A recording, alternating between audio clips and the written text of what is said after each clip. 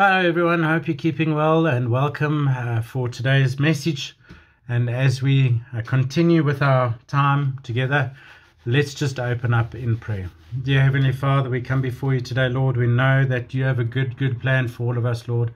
And Lord, even though the things might be shaking, uh, you shaking the earth and you're shaking those that are uh, in this earth to turn their hearts and their minds and their, their lives back to you, Lord. And as they continue to do that, through your power and your Holy Spirit. We ask that these verses and this message for today will give people the hope and encouragement that they need during this season.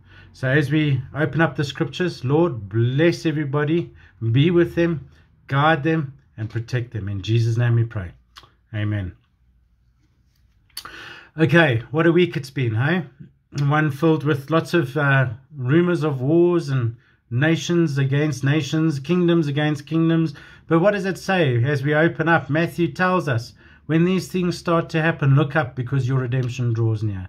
What am I speaking of? What's going on in Russia and Ukraine and all the sanctions and uh, threats that's coming from all the different regions that's causing great um, uncertainty, uncertainty for a lot of people. And also, there's uh, uh, the the news that's coming out is portraying certain um, uh, narratives, uh, but we also know that we got to look behind what's going on to see the spiritual implications of what's happening. As it is in heaven, let it be on earth. That's what our cry is. But we understand that sometimes that conflict that's happening in the heavenly realms can be played out here um, on earth. That will give us an understanding as to the implications of the spiritual battle that people are in and nations. But we also understand that when we give our time and our lives to the Lord, there's a mission. There's a mission and there's a, martyrdom discourse that is covered from Matthew chapter 9, verses 35, right through to chapter 11, verses 1. Now, we're going to spend a bit of time in this because I feel it's important not only for the, the, the, the scripture that, that uh, is going to be read, but it's also perhaps maybe an application that will allow us to be able to stand fast and may help us appreciate the value of discipleship and also the value of having faith and trust in Jesus. Um, as we're going to look at today, because you know um, he came and he modeled a couple of things for us, and if we can hold on to those things, standing on the rock, with him being at our, he's our anchor, uh, but we stand in faith and love whilst we stand with hope. That gives us uh, perhaps maybe a peace, a powerful peace during these times and seasons. Let's open up in Matthew chapter 9, verses 35 to 38. This speaks of the compassion of Jesus. Then Jesus went about all the cities and villages, teaching in their synagogues, preaching the gospel of the kingdom, and healing every sickness and every disease amongst the people. But when he saw the multitude, he was moved with compassion for them, because they were weary and scattered, like sheep having no shepherd. Then he said to his disciples, The harvest is truly plentiful, but the laborers are few. Therefore pray that the Lord of the harvest to send out laborers into his harvest. Matthew summarizes the Galilean ministry of Jesus and introduces the commission he gave to his disciples in this uh, passage. But let's have a look at a word, a kingdom dynamic, which is compassion. Speaking of Christ likeness. The truest compassion is only found in the nature of God because only God knows the full depth of an individual's pain, need, or suffering. Jesus is seen in the essence of feeling human weakness, fully sensing the ravaged condition of human brokenness. Christ likeness calls us to learn Jesus' heart of compassion, a depth of sensitivity that can be worked in us through the Holy Spirit reconditioning our hearts to be able to sense the pain of human bondage and to weep with those who weep. Jesus tears tears over the city of Jerusalem and tears over the tomb of Lazarus. That reveals more than either a sense of rejection by the people of one city or a grief over the death of a personal friend. His compassion brought tears for the hardened of all hearts that were blinded by their sin and for the tragedy of all humankind's vulnerability to death. But love, love sees beyond the immediate and personal and compassionate, relates to the lost, the hurting, the needy, and the distressed. It moves more and more into the dimension of discipleship that discovers the compassion of Jesus Christ, following through a personal care and to serve others.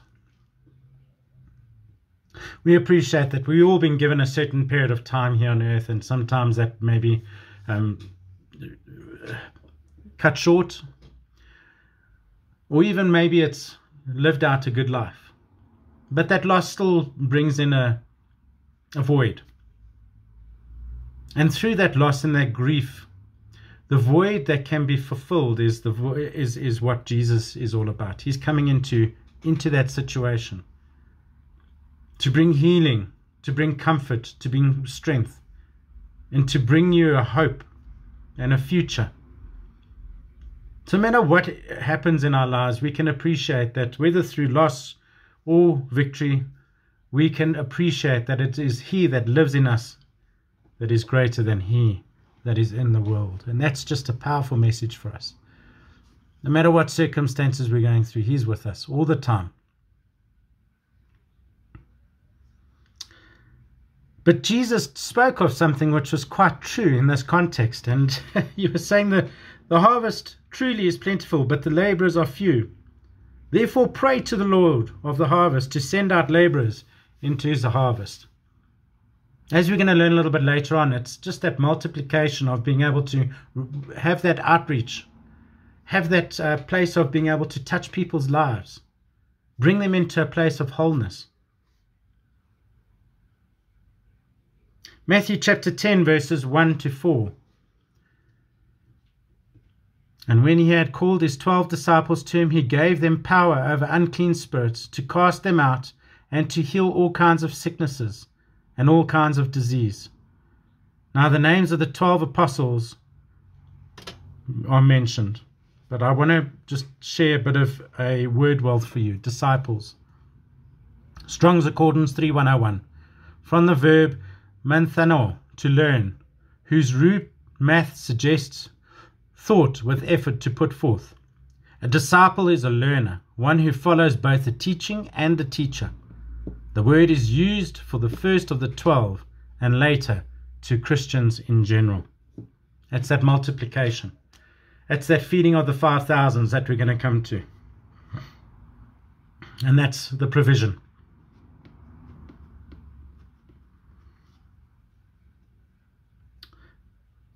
Goes on to talk about sending out the 12. And in this passage, it says, These 12 Jesus sent out and com- commanded them, saying, Do not go into the way of the Gentiles, and do not enter a city of the Samaritans, but go rather to the lost sheep of the house of Israel. And as you go, preaching, saying, The kingdom of heaven is at hand. Heal the sick, cleanse the lepers, raise the dead, and cast out demons. Freely you have received, freely give. That was going on last week's message, wasn't it? Freely receive, freely give. And that's that powerful ministry that we have to bring others into the wholeness that the Lord has for them, but also sometimes to cast out the demons.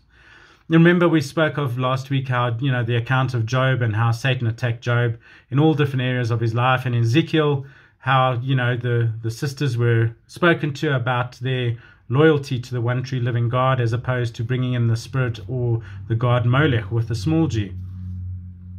But it also gives us an indication to appreciate the healing power and the casting out of demons that Jesus brings to each and every one of our lives.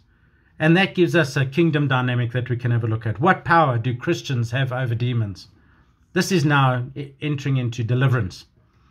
He who is in you is greater than he who is in the world. 1 John 4 4 very truthful passage of scripture that we can hold on to.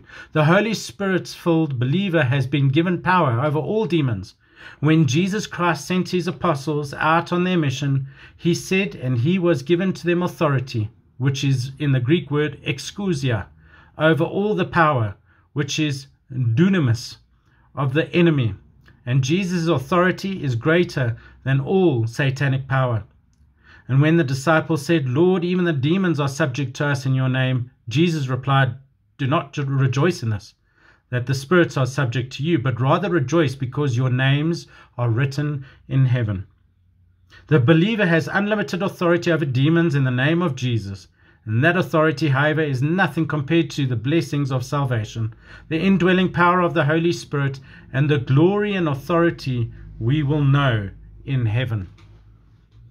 Our Father who art in heaven, hallowed be your name. Your kingdom come. Your will be done on earth as it is in heaven. But sometimes we don't see that. Because sometimes in that spiritual realm, Ephesians 6, we do not wrestle against flesh and blood, but against the principalities of this dark age and power. And sometimes when we get those breakthroughs, we go into the next dimension of spiritual uh, uh, breakthrough, uh, closer to eternity, but obviously appreciating that there's an enemy that wants to kill, steal, and destroy. So while we see things that are wanting to come from heaven down to earth, we can also appreciate the battle that's going on, the battle that's unseen, but the battle that God has victory over, the both the seen and the unseen. So as things are portrayed and uh, you know narratives are given about how things are playing out here on earth, we hold fast to the rock, we hold fast to the truth, and we hold fast to who we belong to that will make us victorious in Christ because He is victorious and we are victorious in Him. But it also goes on to speak of a warning, uh, a warning that tells us that persecutions are coming. And he opens up this verse, which I'll let you read through a little later on, uh, Behold, I send you out as sheep in the midst of wolves. Therefore be wise as serpents and as harmless as doves. But beware of men, for they will deliver you up to councils and scourge you in their synagogues. And you will be brought before governors and kings for my sake, as a testimony to them and to the Gentiles. But when they deliver you up, do not worry about how or what you should speak, for it will be given to you in that hour what you should speak. For it is not you who speak, but the Spirit of your Father who speaks in you. And then it goes on to talk about some of the warnings and, uh, you know, the, the teachings of a disciple. But then it goes on to say, Therefore, do not fear them, for it is nothing covered that will not be revealed, and hidden that will, not be known. A word wealth is fear, which is phobia, Strong's Concordance 5399. Phobia is defined as a panic that grips a person's causing him to run away, be alarmed, scared, frightened, dismayed, filled with dread, intimidated, anxious, and apprehensive. Jesus is urging his followers not to have a phobia of men, which is destructive, but a reverential awe for the fear of God, which is constructive. Proverbs chapter 29, verses 25 addresses the fear syndrome the fear of man brings a snare, but whoever trusts in the Lord shall be secure. The New Testament upgrades this thought with 1 John verses 4, chapter 4 verses 18. Perfect love casts out fear. Being filled with God's Spirit will cause you to become fearless, as found in 2 Timothy chapter 1 verses 7.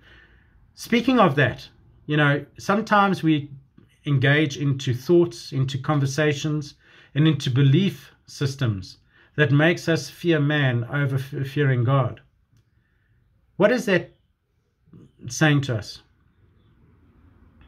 Remember, it says we've not been given a spirit of fear, but of power, love, and sound mind. That is the first thing that can come into your spirit when engaging in these sort of discussions, as I have just myself over the last 48 hours. And the Spirit of God reminded me Number one, great is he that's in you that's in the world. Number two, we've not been given a spirit of fear, but of power, love, and sound mind. And number three, which is found in this passage of Scripture, which has now been revealed again, perfect love casts out fear. So when we're operating from a place of love, we're operating from a place of divinity. God is divine. He is the true divine source of love, and that's who we've been made for appreciating that sometimes we're operating in that realm and sometimes we're operating in the realm of the heavens, which is where the conflict happens good versus dark, evil, good versus wrong, uh, and, and evil versus light. And that's where we can stand on, on our authority that Jesus has given us as his disciples to be able to stand, having done all to stand. And that's a very encouraging word for us because as we continue to do what it says in the Bible and how it, it's said to us, um, in Matthew chapter 8, uh, 10, verses 8. Heal the sick, cleanse the lepers, raise the dead, cast out demons. Freely you have received, freely give.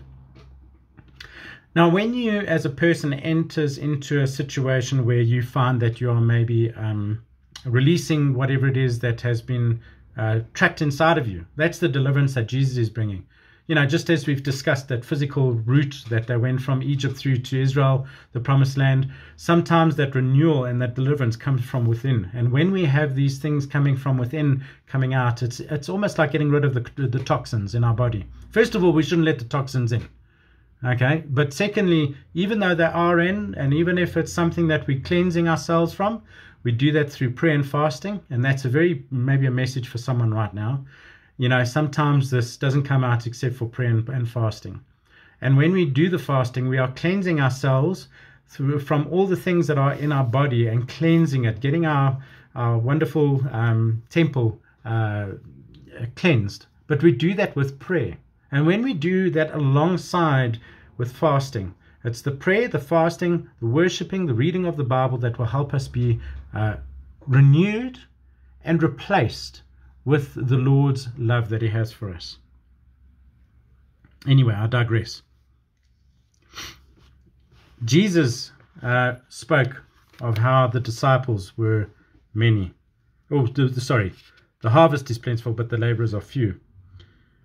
We also appreciate through the persecutions that were coming, Jesus was saying to his uh, followers before they had gone in through to the cities of Israel. And that difficult verse tells us or has been interpreted as referring to his coming in the Transfiguration, the Pentecost, the destruction of Jerusalem, as in 70 AD, bringing the judgment, as well as the second coming. Very interesting uh, passage of scripture that's giving us the times and the seasons. Now, if we have a look at what's playing out in this uh, earthly realm, with us standing on the rock in faith, uh, hope, and love, we can appreciate that we can see beyond the physical realm into the spiritual realm. And then we know how we can intercede and pray into situations. You know, obviously, there's no one person that wants to see a lost loved one or a lost life or a separation of um, communities, families. But through the Spirit of God, the Ruach Spirit, the wind, the, the, the, the love that He has for us, as He did in Genesis, He breathed into our nostrils to fill us with His Holy Spirit. Therefore, we, we mustn't fear Him. Mustn't fear, not, mustn't fear man. We fear God. And that's what we're going to be leading into now, is um, appreciating that these there's a healthy fear, and then there's an unhealthy fear that brings about disease and discomfort. Jesus spoke about this, and he spoke about or taught on the, the teachings of the fearing of God chapter uh, uh, Matthew chapter 10 verses 27 to 31. Whatever I tell you in the dark, speak in the light, and whatever you hear in the ear, preach on the housetops. And do not fear those who kill the body but cannot kill the soul, but rather fear him who is able to destroy both soul and body in hell. Are two are not two sparrows sold for a copper coin, and not one of them falls to the ground apart from your father's will? But the very hairs of your head are all numbered. Do not fear, therefore. You are of more value than many sparrows. There's a word of comfort right there. There's a word of comfort right there, which gives us the hope in the future that the Lord has for us. And even though the persecuted uh, disciples who had gone through that, they continued claiming or proclaiming the gospel, speaking in light the truths that they had previously been taught in private, standing against fear, making his name known well, and uh, doing the Father's business. Freely receive, freely give. Now we understand that sometimes we go through these challenges ourselves. We go into a place of illness, or a place of um, loss, or a place of healing. You know, during these good and bad times, we can appreciate that He's still with us each and every step of the way. Remember the testimony that I shared with you last week about what happened in my own family and how the Lord revealed Himself to us during that time. So it's during that time of uncertainty or grief or loss or mourning that we press into the Lord. We press into Him We, we, we know that uh, we are His and we are chosen, we are, we are the beloved. But the more we press in, the more He'll be able to bring the healing in whatever situation that uh, is before us. But confessing Christ, as it says in Matthew chapter 10, verses 32 to 33. Therefore, whoever confesses me before men, him I will also confess before my Father who is in heaven. But whoever denies me before men, him I will also deny before my Father who is in heaven. That might bring a bit of division. That might bring a bit of discomfort. That might bring a bit of a reality check. We are all pursuing our journey towards the promised land, physical and spiritual. And as we continue to do that, we bring the loved ones with us, but sometimes that can bring division. Matthew chapter 10, verses 34 to 39, uh, 39. Do not think that I come to bring peace on earth. I do not come to bring peace, but a sword.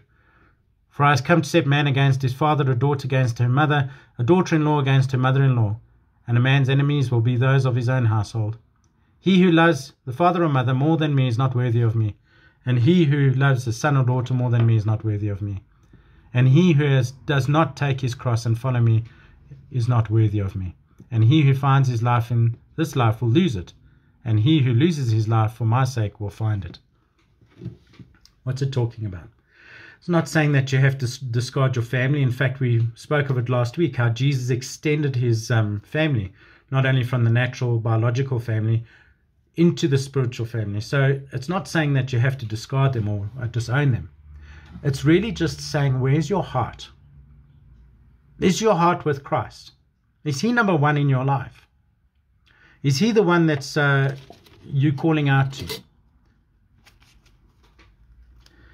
Jesus never attacks the family relationships, but loyalty to Him is the paramount message. The loyalty may even uh, result in certain family members being shunned by others.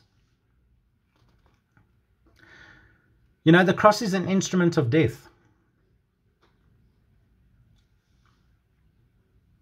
It's not the bearing of any burden or distress, but the willingness to give one's life sacrificially for their master. That's what he did on the cross for us. That's what he did on the cross for his Father.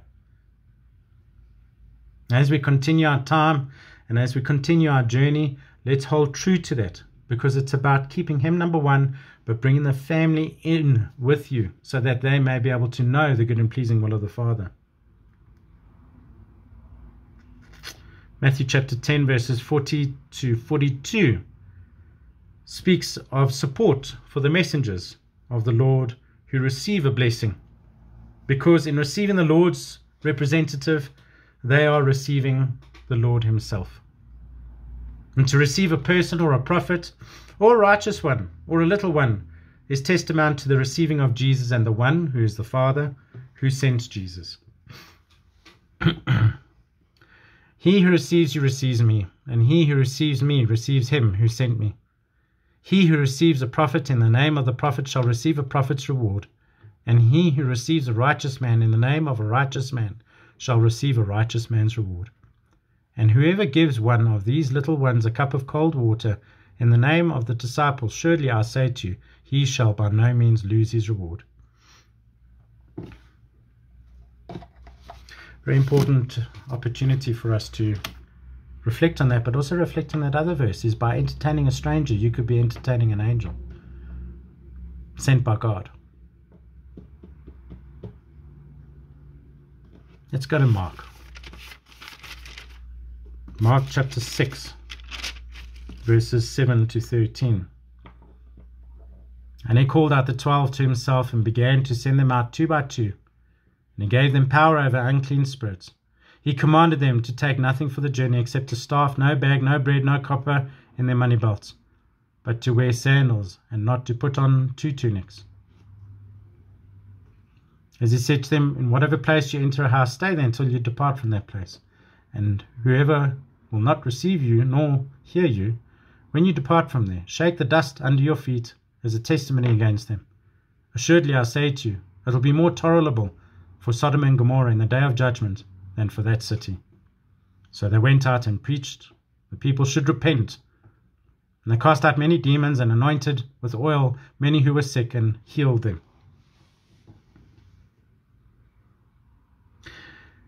Jesus delegated his power to these to, to his disciples with instructions concerning the provisions, the acceptance publicly or rejection.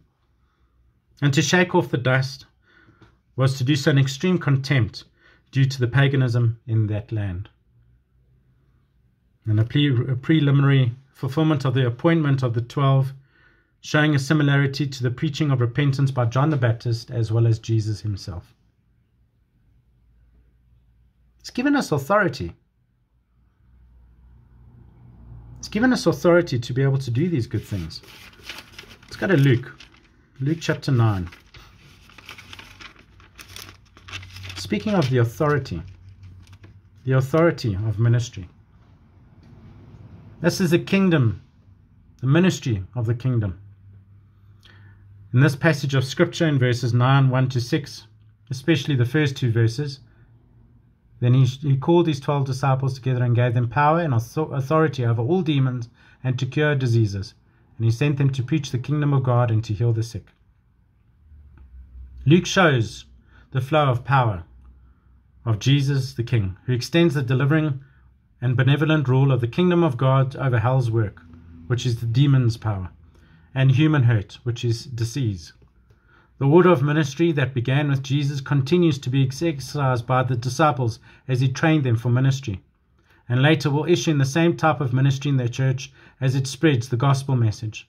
The gospel throbs with confidence in the full transparency of power and authority for ministry by Jesus to his disciples, both then and now. We may expect victory over the powers of darkness and their operations.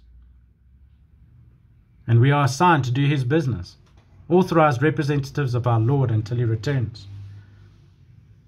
And we are promised the Father's pleasure to give us the kingdom, that is, to supply us with his peace and his power. That's his kingdom, peace and power. So, whatever situation we're going through, let's see things from above, receiving the kingdom's power and peace in all situations. Whether it's an unanswered prayer, loss of a loved one, or what we're seeing on this earth that's happening during this time and season.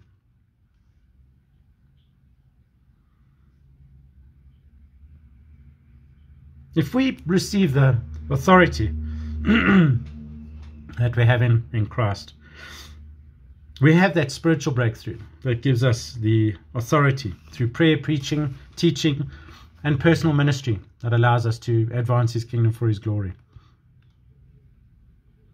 But it comes at a cost. It comes at a cost. Look at all the great men and women that went before us, both in the Word of God and also those that are doing the Father's business at a, at a great, great price.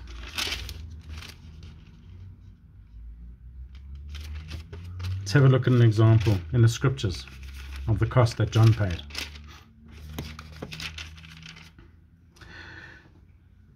Matthew chapter 14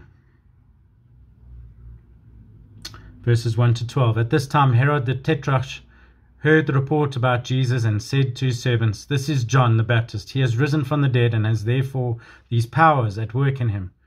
For Herod laid hold of John and bound him and put him in prison for the sake of Herodias, his brother's his brother Philip's wife. Because John had said to him, It is not lawful for you to have her. And although he wanted to put him in a death, he feared the multitude because they counted him as a prophet. But when Herod's birthday was celebrated, the daughter of Herodias danced before them and pleased Herod.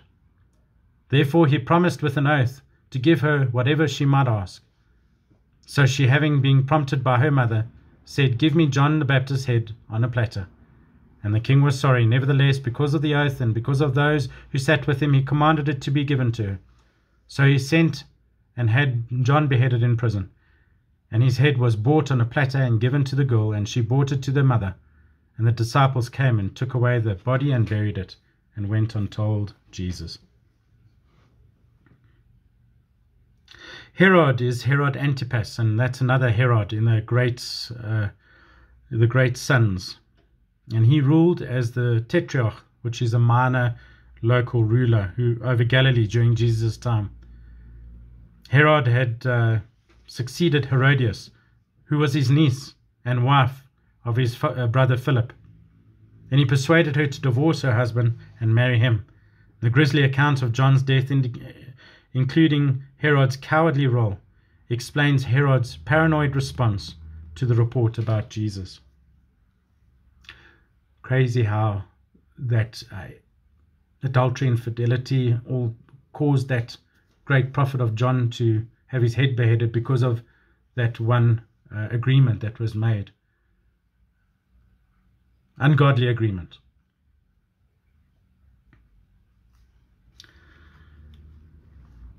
Let's be mindful. Let's be mindful because Herod's intent was evil. And sometimes things in this earth are intended for evil, but God turns all things around for the good for those that love Him and are called according to His purposes. But that was the cost that I was referring to. As also found in Mark chapter 6, verses 14 to 29.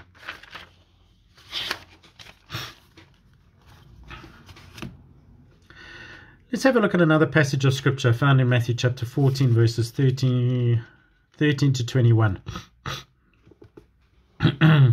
it's now talking about the harmonizing of the Gospels on this beautiful miracle of Jesus feeding the 5,000. When Jesus heard it, he departed from there by boat to a deserted place by himself. But when the multitudes heard it, they followed him on foot from the cities. And when Jesus went out, he saw a great multitude, and he was moved with compassion for them. And he healed their sick. When it was evening, his disciples came to him, saying, This is a deserted place, and the hour is already late. Send the multitude away, and they may go into the villages and buy themselves food. But Jesus said to them, They do not need to go away. You give them something to eat. And they said, We have here only five loaves and two fish. And he said, Here, bring them to me. And he commanded the multitudes to sit down on the grass. First he gathered them. Then he took the five loaves and the two fish, and looking up to heaven, he blessed and broke it and gave it, the loaves, to his disciples. The disciples gave it to the multitude.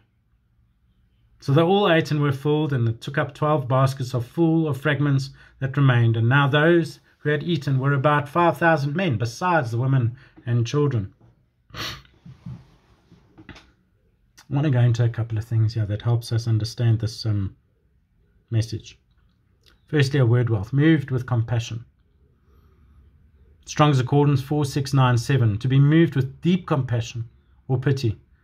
The Greeks regarded the, the bowls, which is the splanchnia, as the place where the strong and powerful emotions originated. The Hebrew regarded Splanchnia as the place where tender mercies and feelings of affection, compassion, sympathy, and pity originated.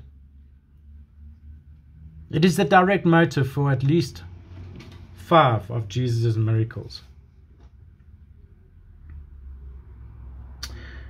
Jesus said, You give them something to eat.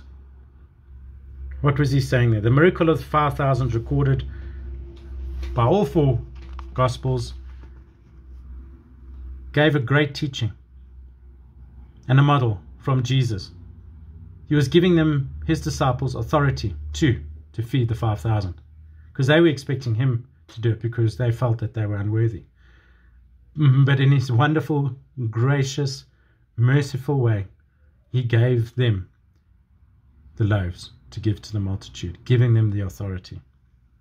Reflecting that the harvest was plentiful but the workers was few, was another indication.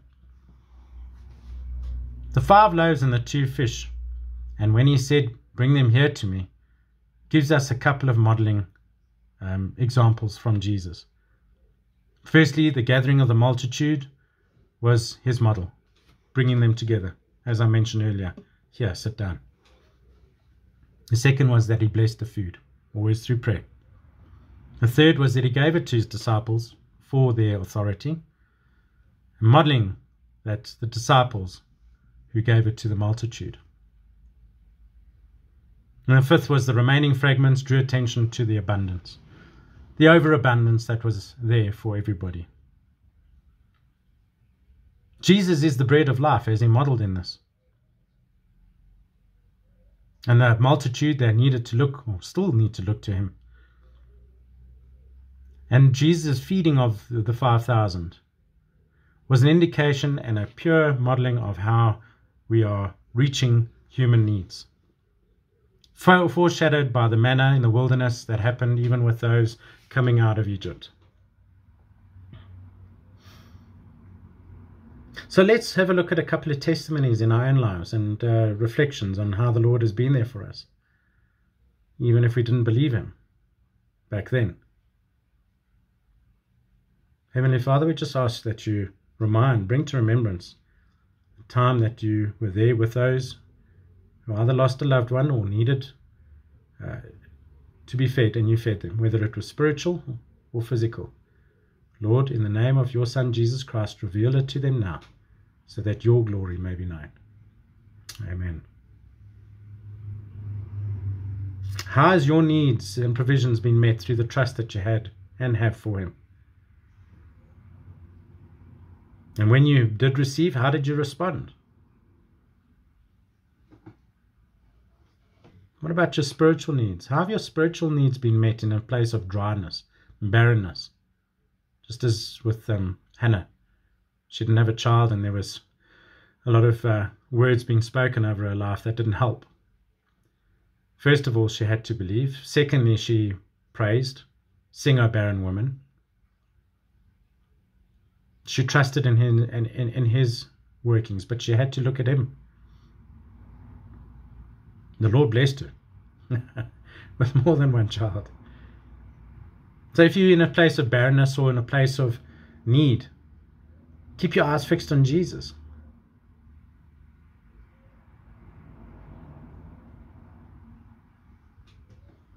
If your spiritual needs have been met, ask the Lord how He can help you uh, fulfill that spiritual need in someone else's life. Mark also gave reference to the feeding of the 5,000 in Mark chapter 6, verses 30 to 34. And there's a couple of points that I just want to share with you so that you may be able to go read the scriptures and uh, see what the Lord is saying to you. But here are some of the notes that I made. Jesus withdrew his disciples from the crowds in order to rest.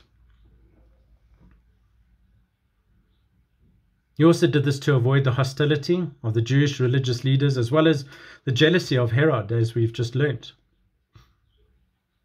But he also did another thing.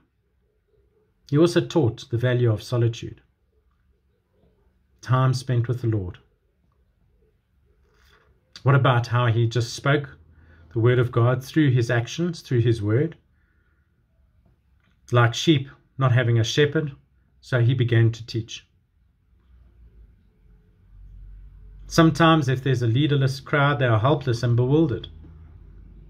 If they choose to hear the truth, there's no need for that. But if people look to another source other than God for their prayers to be answered or situation to be delivered. That may bring in the confusion and the bewilderment. In this passage, the blessings of Jesus with the 5,000 gave us another important lesson to remind ourselves is that it wasn't dependent on him. He was dependent on his Father for the miracle that would meet the needs of the needy people, of the people that, that needed the, the help.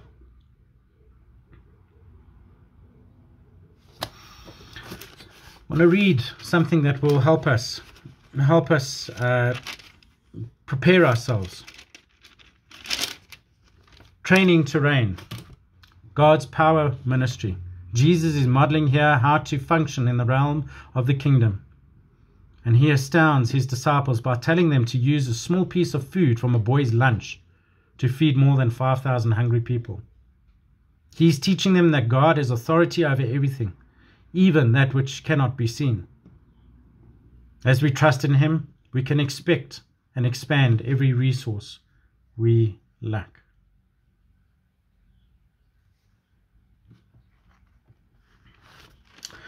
John 6, verses 9 spoke of how all four Gospels accounted for the miracle of the 5,000. Also, that God is authority over everything, both seen and unseen. And we're going back to Colossians. Colossians 1, verses 15, shares with us that He is the firstborn over all creation. Hence the reason why we look to Him. And verses 16, all things were created through Him and for Him. And in Him all things exist. Remember, we spoke a couple of weeks ago about the temple, about the living God? But we do this by faith. In Hebrews chapter 11, verses 3, all the words were framed by the word of God. So we speak the word of God into existence because he wrote it into existence, was spoken into existence, it was written afterwards. And as found in Luke chapter 9, verses 10 to 17, the feeding of the 5,000, Jesus received them and spoke to them about the kingdom of God. He spoke to them about the spiritual things. He was feeding them physically so that he could impart spiritual nourishment to them. But he did another thing there too. As he gathered them, he let them sit in groups of 50. And what did that mean? That meant that he was able to uh, have that individual or group impact. 50 versus 5,000, you can reach the 50 more effectively than what you could reach the 5,000 which gave the need and the purpose for the laborers to go out into the harvest that was plentiful, to be discipled, to grow in the Lord, to show them the Word of God, and to be able to fill them with the Holy Spirit through His power, not ours. And that everything that was supplied to them was fulfilled. Their food, physical food was fulfilled because He fed the 5,000 besides the women and children but he also spoke to them about the kingdom of God. But we also appreciate that when he withdrew to rest, he modeled that for his disciples to have that solitude, but also to avoid sometimes the confrontation that will distract them from their mission, doing the Father's business. So he has a couple of questions to ask. When last did you withdraw to receive the rest and solitude? And how much of that time was spent in praise, prayer, worship, and study? And have you had an opportunity to share God's kingdom with others? And what steps have you taken in order to pray for others? John chapter 6, verses 1 to 4 was the last gospel that was speaking of the 5,000. The Sea of Galilee wasn't known where his ministry took place. He was speaking of an earthly paradise, and people responded with thoughts that Jesus had come into their world for an earthly paradise, being their political bread Messiah, making him king by force. But he wouldn't have he wouldn't have any of it, as found in Matthew chapter four, verses one to four. Where he says, It is written, Man shall not live by bread alone, but by every word that proceeds from the mouth of God. So they were trying to uh, put him in a position that would supply their physical needs. But he was saying to him, You cannot live by bread alone, but by every word that proceeds from the mouth of God.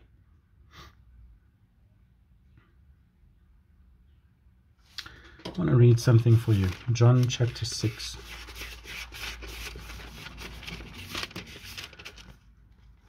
Scriptures. No?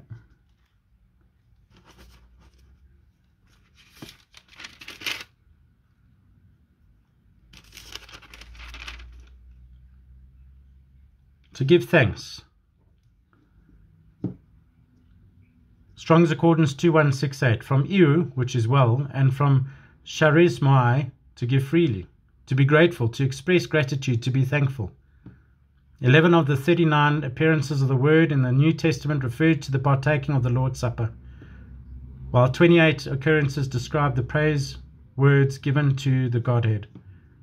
During the second century, Eucharist became the generic term for the Lord's Supper, which we'll get through to in your time of reading in John chapter 6, verses 1 to 14. They gave thanks, they were filled with gratitude.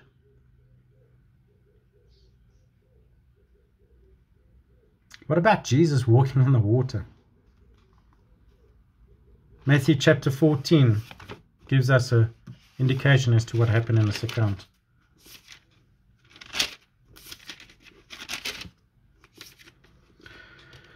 Matthew chapter 14, verses 22 to 33. Immediately Jesus made his disciples get into the boat and go before him to the other side, while he set while he sent the multitude away.